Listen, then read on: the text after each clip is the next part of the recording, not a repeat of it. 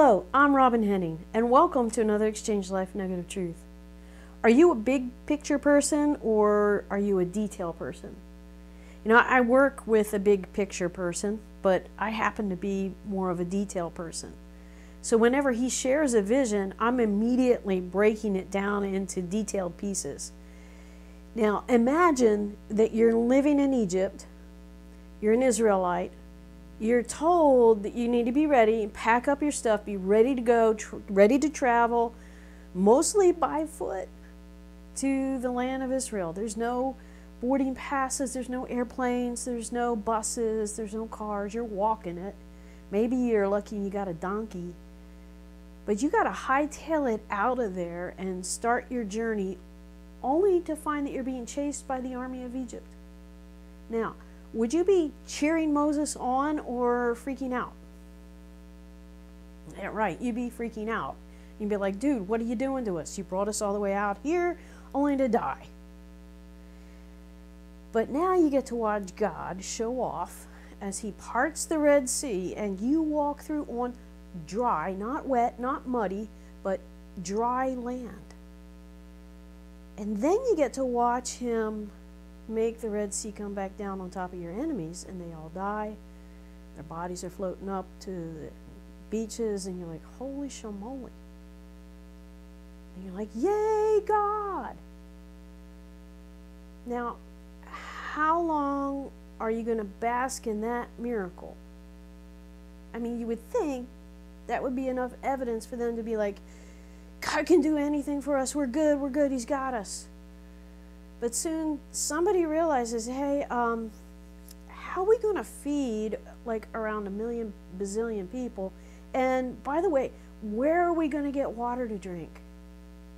See, food and water are pretty basic details. I would have been like, uh, how are we going to do this? This is not going to be easy.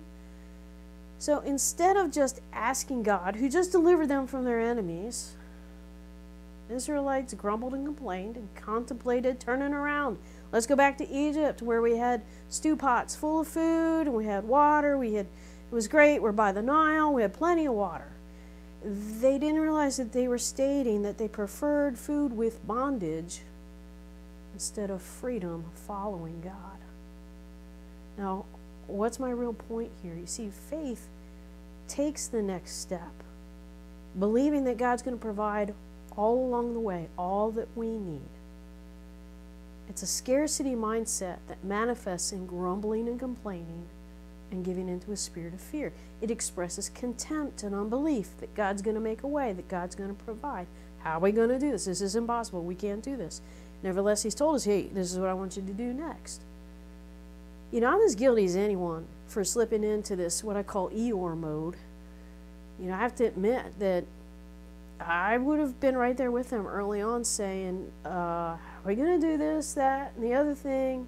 This is nuts. This is insane. This is never going to work. You see, God's solutions. Would anybody have come up with, well, God's going to part the Red Sea and then drown all our enemies? If you had floated that one out there and said, this is how God's going to do it, everybody would be like, you're insane. What are you smoking? See, God's solutions are rarely visible to us. And I'm preaching to myself here too. You know, He knows exactly what we're going to need, when we're going to need it. And by the way, He's already got a solution in place just waiting for us. All we have to do is ask in faith, believing that He's going to make the way. We'll receive our instructions then, and then we have to step out in faith and obey those instructions. It's, look, beloved, I know it's easy for me to say this. And I know that in the moment when life's waves, which are very real, are crashing around us and that wind is blowing, that storm was real that Peter was out walking on the water to Jesus. He was getting wet, his hair was being blown around, he was doing the impossible. And soon as he was looking at anything but Jesus, he sank. Our focus has to be on our Savior who has already overcome every possible problem that we could face. Beloved, God is the God of the big picture and the God of the details.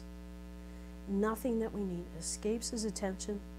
So instead of freaking out or grumbling and complaining, we simply need to ask God and then to provide, to make the way, and then to show us His solution and give us the faith and the strength to step out and walk in that faith path, knowing He's going to make the way, knowing He's going to do the incredible.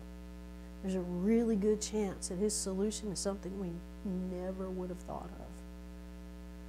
So, beloved, I don't know what you're facing. I know what I'm facing, but God's good. He knows the solution He's already got in place for us. So, I hope you'll just simply ask. Ask and believe. Ask in faith. He's going to make the way. Take that step of faith. Walk with Him in the freedom that is ours in Christ Jesus. I hope this encourages you. I hope you have a blessed week in Jesus. We'll see you next time.